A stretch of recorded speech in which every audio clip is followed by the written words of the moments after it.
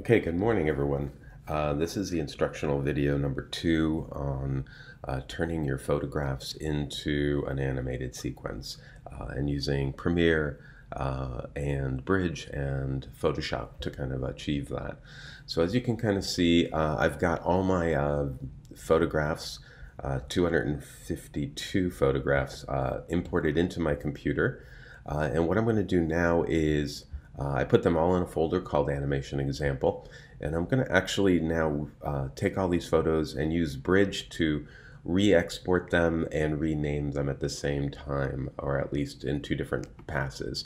Remember these are iPhone photos and we had some serious issues with these photos uh, being used in Premiere uh, because things went backwards, if you can remember um, our failure at, uh, in class. So we're going to definitely have to use Bridge. So I have Adobe Bridge uh, that I've downloaded uh, to my computer. You should all have the Creative Cloud uh, downloaded. Make sure you have Bridge, Photoshop, and um, Premiere. Uh, I am going to find these under animation example, so it should be right here and we're going to open them up in Bridge. You'll see them uh, show up in a second. Okay, uh, I've just uh, took a second for uh, the thumbnails to get created in Bridge, but as you can see, as I scroll through, you can see all the images. Uh, they are currently in the correct order. You can see 3424, 3426, uh, 3428. This was because my phone uh, took two photos. Um, never mind, I had to delete uh, half of the images um, in order for this to work. But anyway, I have all my images here. And what I'm going to do is select all of them, edit, uh, select all, all my images. Uh, and now you can see everything is selected. And now I'm going to go to Tools, uh, Photoshop, and I'm going to go to Image Processor. So I get this dialog window here. And what I'm going to do is make sure that the Save as JPEG box is checked. Uh, I'm going to put the quality at 10 because uh, this will make things move a little faster. The, the worse your computer, maybe the lower the quality uh, because you're going to be really large images. So when you bring them into Premiere, it'll be pretty big. Um, and then I'm just going to hit the run button. Now it's notice it's saving in the same folder. So what you're going to do now is just going to watch this. Uh, you can kind of see it's working its little butt off up here. Uh, you're going to go away, get some coffee. It's going to take a bit of time to, to go through all 250 images um, in Photoshop, say, open them, save them, and then close them down. So I'm going to just go ahead and speed up this video. Okay. Uh, I'm going to go ahead and close up Photoshop if I scroll down way to the bottom, there is a new folder, and that's the folder that you're going to want to use because that has all the, uh, er, the new files in it. Uh, I'm going to double click this folder, and what you'll see as soon as the thumbnails pop up is 252 items, um, but these are going to be in a way kind of like, you know, they're going to work better for you in Premiere. Now, the last thing we need to do in Bridge is to rename all of these files. So I'm going to wait till all the thumbnails come in just to make sure everything is selected. Uh, great, everything looks pretty much in. Double check. Yep. So I'm going to go to uh, Edit, Select All. Then I'm going to go to Tools, Batch Rename. We've done this in class before. They were in the correct order. You can kind of see going uh, from low to high. So this is fine. And I'm going to change the name to TP underscore. And I'm going to change the sequence number to 001. And I'm going to use three digits. Uh, so this is how it currently is, IMG. And then the new naming convention will be TP underscore 001. Uh, make sure you add the underscore and make sure you have the three digits selected, especially if you have over 100, obviously. Uh, and then what it will do is hit rename and it will take a, a little bit of time to rename everything so you want to give it a, a, a second. Again there's 252 items. You'll see this up here. All right and you can kind of see it starts at 001 and goes all the way to 252 uh, we do not need bridge anymore uh, so we're going to go ahead and quit bridge. And you'll notice that in our folder uh, that we started with, we now have a new folder uh, with the name JPEG. I'm just going to call this folder uh, TP so that I know uh, what to bring into uh, Premiere. So now we're going to go into Premiere. Again, here's our TP folder and everything is in the right order. And you can see if I kind of go through it, you've got the, the things in order. All right, next part we're going to use is Premiere. So I'm going to launch Premiere. Bit of time if you've just installed it. Remember how long it took in class. Uh, I've got a very fast computer. If you've got a slow computer, you might want to walk away for a little while. Um, okay, we're going to create a new project. Uh, and we're going to call this project TP and I'm going to put it on the desktop so um, I'm going to browse to the desktop and choose the desktop this way I know where everything is located and I'm going to hit OK next thing we're going to do uh, is import those video or those images as an image sequence. So I'm going to double click the bin down here uh, and I'm going to find my animation example in the TP folder. I'm going to double click the TP folder uh, pick the first number, 001, then I'm going to go to options and I'm going to select image sequence. It's really important you have everything uh, listed in order. Now, if you don't have these in order, if something is missing, like number 8 is missing, you will not have the entire video. This is why it's important to open it in Bridge. Uh, as long as image sequence is selected, it'll pick everything in that sequence and bring it in. And if I've done everything correct, uh, I'll double click this and you'll see I've got the entire sequence uh, that I've taken. If anything is not correct here, go back to through the video make sure you've renamed everything, nothing is missing, you didn't accidentally delete something. Okay, the next step, as we did in class, is to change his frame rate to 12 frames per second. Now I'm going to control click or right mouse button click uh, on this sequence and you can kind of see right here where we have um, modify, interpret footage.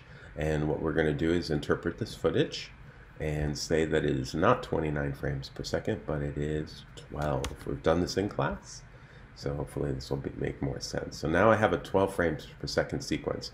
Now the next thing, this is special, this is not something we've done in class, is we're going to create a sequence that's uh, 1920 by 1080p because if we were to drag this into this timeline here, we would have this entire framed area and you can kind of see hopefully that this is not 16 by 9. This is not a typical video uh, aspect ratio. So because your phone has a different aspect ratio for the camera as compared to video, okay, we're going to go ahead and create the uh, 16 by 9 manually. So here's how you do it. Uh, down here is the new item tab. Uh, again, we're in the editing window. You can click on that and select sequence here, or you can go file, new, and then select the sequence here. So whatever way you do it, you're going to get a new sequence. Now this is really important. What we're going to do is we're going to create a, a new sequence uh, setting. Uh, this way we could use it in the future. And so what I'd like you to do is go to the settings tab, make sure you select custom. Uh, time base should be 12 frames per second.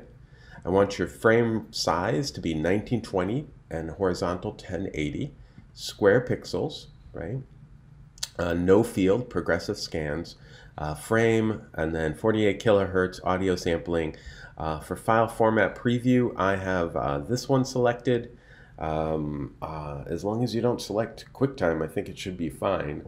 Um, I have had not had any issues with this uh, file preview. I have no idea what that is. Uh, finally, we're going to name the sequence uh, TP. But before we do hit OK, before that, we're going to save this preset because then we're going to use it again and again.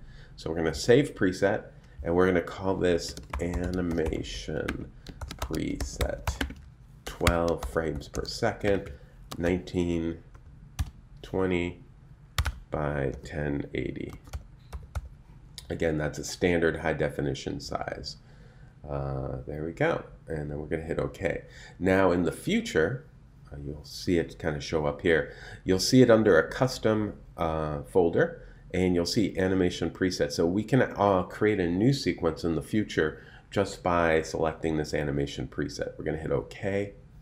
Uh, and now we've got what looks like correct uh, aspect ratio here. We are now going to drag our video into this timeline. Now watch what happens when I do this. I'm just going to grab the video and drag it and let go. Normally you would change the sequence settings. But because we know our sequence is correctly sized, we're going to keep the existing settings. This is really important. I hope you're watching this. Uh, keep existing settings.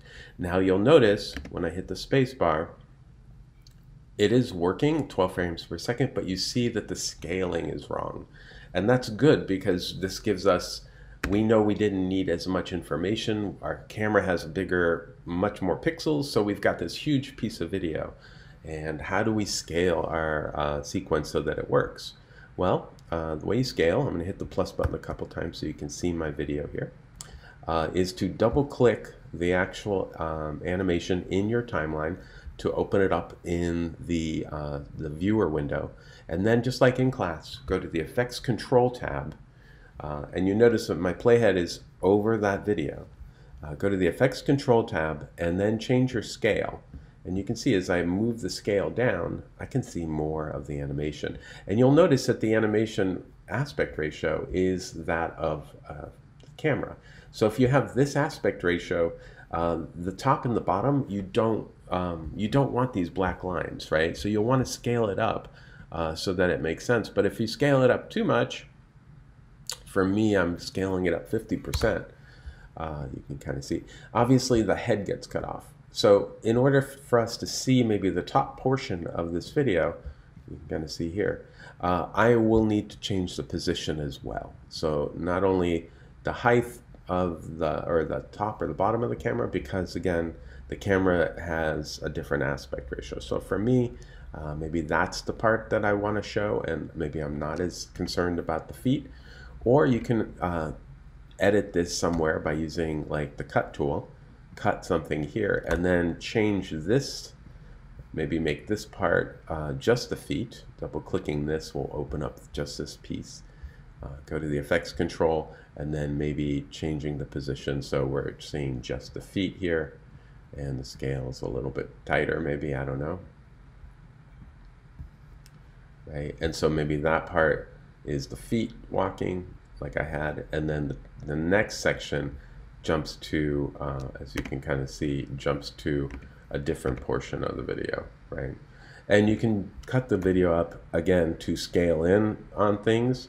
So if they're looking there, you might want to cut that and then double click this next port portion, go to the effects, and maybe you want to scale that up to 100 so that we just see the toilet paper in the frame like that, right? So now we've got this looking back, toilet paper, nice close-up, and then we go back to the full version. Hopefully this helps a little bit. Again, uh, double clicking will open up the effects control area and you can then modify each of these cut pieces and so create something that looks uh, like a multiple uh, shots. When we're ready to export this video, uh, you will go to File, uh, Export Media. Don't forget you have to select this area uh, and then what we will do is H.264, match source high bitrate, and export video and audio, especially if you have some audio. You'll notice that if you've done everything correctly, 1920 by 1080 is selected here. 12 frames per second is what we want because that's what our video was. Okay, now we're gonna go ahead and uh, make sure that we know where we're saving this. TP1, we're putting it on the desktop. Hit save and export. This video is the video you will then upload to YouTube and then embed it into your WordPress. Seems like a lot of steps, uh, but this is what we do uh, with animation. So uh, just so you can see the, the video, here it is, it's finished, and this is what it looks like. So you can kind of see that was my lower area. Uh, that's the bigger size. I'm zoomed in here and then that's done. And you can see, I can't see the paper rolling, so I would have probably fixed that. And there was a camera movement. Okay, I hope this helps. Thanks so much.